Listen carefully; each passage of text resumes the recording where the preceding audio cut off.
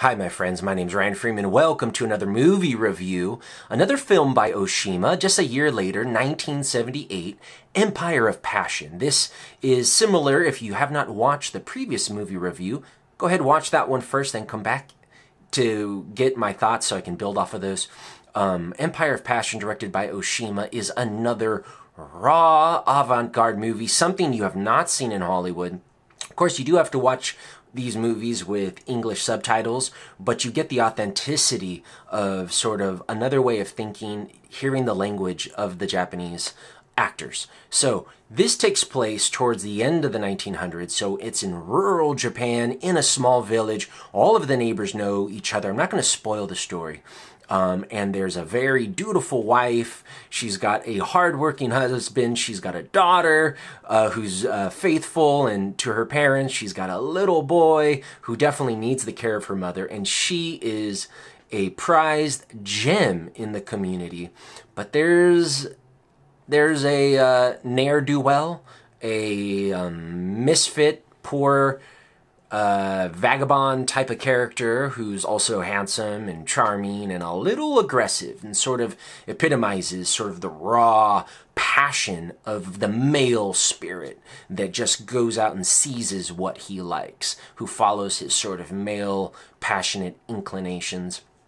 And something develops between him and this dutiful, faithful wife that leads to a death that leads to a haunting, a ghost haunting, which, you know, I'm not really one for supernatural movies. I'm not really one who's crazy about ghosts. Uh, I think it's an interesting topic, don't get me wrong. Um, but I don't know. Uh, I just, I'm not interested in ghost movies, but this movie did the ghost, the haunting so well and so interesting and so, not in this hor- horrific, uh, Hollywood way, um, not in a very, not in a way that's overly scary. Um, it's frightening, and there was a couple points where I did get goosebumps, but in a very psychological way, in a very, um, in a way that I I can relate to, and in a and in a way, the probably the most realistic vision of how I could imagine ghosts actually interacting um, in the lives of the people who did them wrong or uh, sinned against them and didn't give them a proper burial. This is a fantastic movie, Empire of Passion. There is some hot, steamy sex scenes uh, that is raw, that is not the norm, not what you're normally going to be used to. It's not in your face too much. Um, there is a little nudity. Um, there's violence uh, that is is there's a couple scenes. It's not gory and horrific, but it is tough to watch because the director Oshima bing, brings a realism. Not saying that every aspect of the movie is real, but the feeling, the psychological feeling that you would get if you were in the presence of a murder, if you were in the presence of a rape, if you were in the presence of revenge. He brings that feeling alive. So there are some aspects of the movie that might be unrealistic from a technical point of view. Like there's a point where she's she's uh, one of the characters is trying to burn her house down, and I don't know if any firefighters would agree that um, that that was a realistic instance. But the psychological, the emotional depth, Empire of Passion. And if you watch my previous movie review, and I talked about just how involved these sex scenes make you feel, I think what Oshima has done very well in both of these films, uh, in the realm of the senses, and this movie that we're talking about, Empire of Passion, is these feelings are real. You bring you know we watch films, we listen to music, we consume books and other artistic. Uh, pieces and content to bring us that feeling to to to help us remember what it's like to feel in that moment because we all do have these strong emotions that connect us to reality. And I think Oshima does a fantastic job. Now, there may be some feelings that you wish you you you're not you don't want to connect with, you know, anger and and disgust and and I found myself going through a roller coaster of emotions while watching it. It's not going to be for everyone. I would not recommend this to my hardcore Christian parents uh, or my grandmother.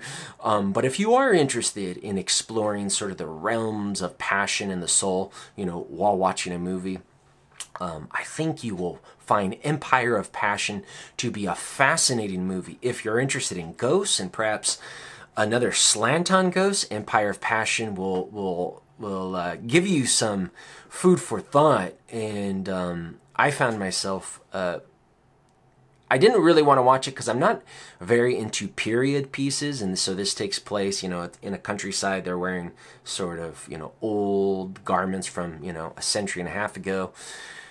Uh, but very quickly, from from the beauty of the film, from the writing, from sort of the iconic, the dutiful husband, the hard-working man, and the dutiful wife, and sort of the moral disintegration of some of the characters as this realm of, of sort of uh, hardcore passion gets infused into this sort of orderly and happy, tranquil setting, um, and the characters is very interesting and made me think about times of my life, and I think times of my life where similar things have happened. You know, where everything was just nice and settled, but then passion struck, and suddenly I was in a storm.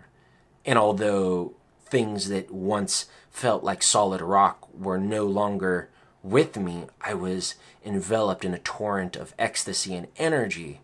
Um, you know, just as a little side note, uh, you know, the Greeks uh, of antiquity who were noted for their order, you know, their beautiful columns on their architecture, their ratios of, of how they uh, saw the world and the universe and formed their artistic endeavors and their philosophy, order, order, order, but they also had outlets for passion. And so, whether they were worshiping the great god Pan in the forest and all night orgies, or they were on the hilltops in Dionysian uh, sort of uh, sort of feasts and reveling and tearing goats apart and, and doing wild things, the Maenads. Um, all orderly people need an outlet for their passions because we're not just order. We're not just these rational beings. We've got this strong maybe to some people it seems irrational, but there's there's a call of our blood, a call of our of our very essence of our nature that demands outlet.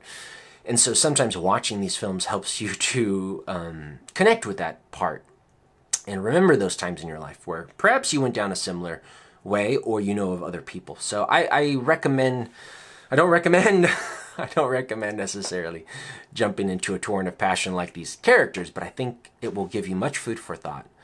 Um, and I wouldn't recommend it if I didn't really enjoy it and get something out of it. So, anyways, that's my movie review of Empire of Passion by the director Oshima. If you do watch it, um, I hope that you put down in the comments what you thought of it. And my name's Ryan Freeman. Thank you for watching.